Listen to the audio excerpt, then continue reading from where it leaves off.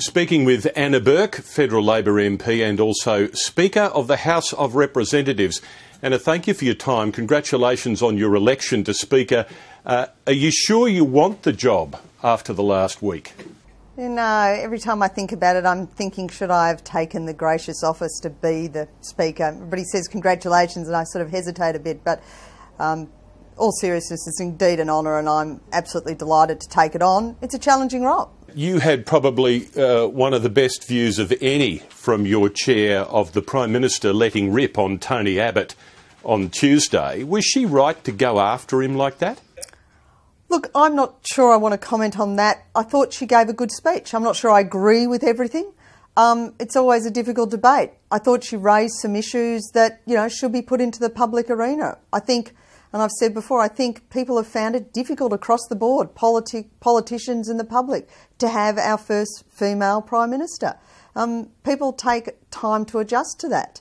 But I think we need to get away from the gender of the position and look at the position.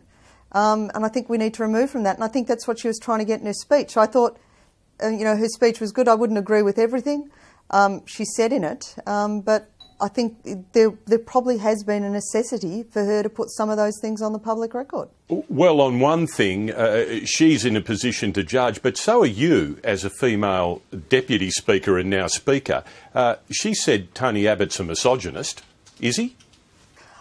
I wouldn't use that terminology. What would you use?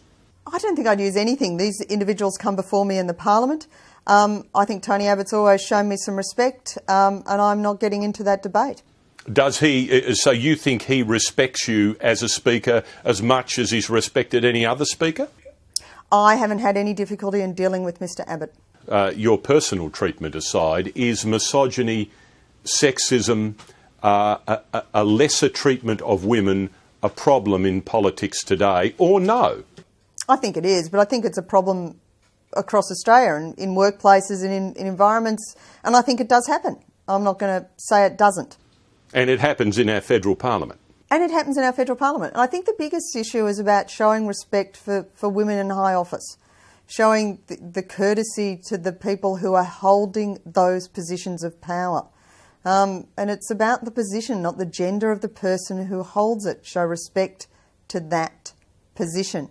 Um, so I think there is some difficulty, but I think it's reflected across the board. We've, women have come a long way, um, but we haven't come the whole way. And I think Parliament should be setting the tone for the rest of the community. If you're a politician and you're at a function where a tasteless joke is told, you now have to get up and storm out immediately and loudly declare how you're offended, or you're declared part of the problem. Do you think we've gone too far in a, in a kind of correctness response this week, or is it all necessary and good?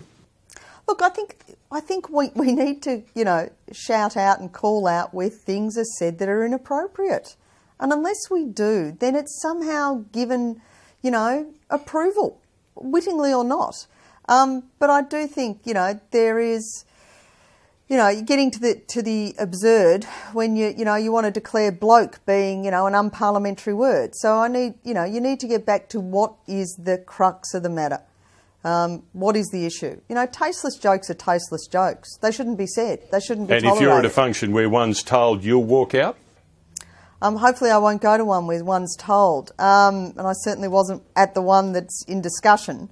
Um, yeah, I mean, it, the difficulty is in what environment it happens. You know, you're a guest at a function, you're about to go and speak, do you storm off? You know, you, you need to understand the context it's in.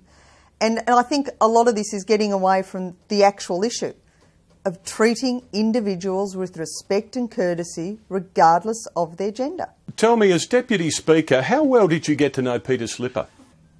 Um, not not incredibly well at all. I dealt with Peter on a very professional manner, and Peter dealt with me on a very professional manner. Um, I certainly got to know and uh, uh, interact with his wife, who was having a very hard time, um, but I wouldn't say we, we had a personal relationship, no. How did you feel as you watched him resign? I thought it was a very gracious and moving speech, and he was obviously in a very difficult situation, but I was completely shocked, and so I didn't realise it was coming. Um, and uh, I just wish we'd, uh, you know, in our public life we didn't have these things occurring. Well, well, quite. And the, the, the, opposition insisted on going after Peter Slipper on Tuesday afternoon. The government insisted on defending him, even although he was gone later that day. Did we really have to have that brutal two hours and 11 minutes mauling of his character and raking over those text messages, or do you think both sides could have handled it better? Um, I actually couldn't possibly comment coming from the chair, um, but uh, you know, Parliament should be allowed to have vigorous debates about issues. Penny Wong, earlier this week, the Finance Minister, was talking about how vicious Parliament had become. My word, not hers, but uh, uh, she was ostensibly saying that. She'd never seen it this bad. Do you agree? Yeah, I, I think I've said to you before and others that I, I think the tone of the Parliament has deteriorated and it is getting more vitriolic and more personal than I've seen it in 14 years. I think it is a bit of the nature of a hung parliament. Um, the intensity is much greater. There could be an election any day now. Is the sort of the, the tone and tenor of the debate, um, and so there is no sort of calming days. There is no up and down days. It's all on this intensity, um, and I think it is a, a bit more a personal vitriol than it needs to be. Your family's response when you uh, were declared Speaker and you spoke to them afterwards, how did they greet the news? Um, well, you know, I think the 10 year old nailed on the head. Does this mean you're going to have to be in Canberra more? Um, so, you know, they were, they, were, they were terrific. They were, you know, really happy and proud for me, but, you know, also a bit, bit concerned it would mean more work and more time away from home, and you've just got to juggle those as best you can.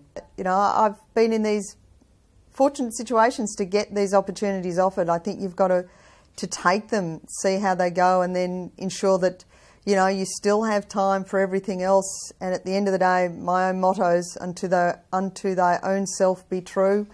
And I hope I can live up to it.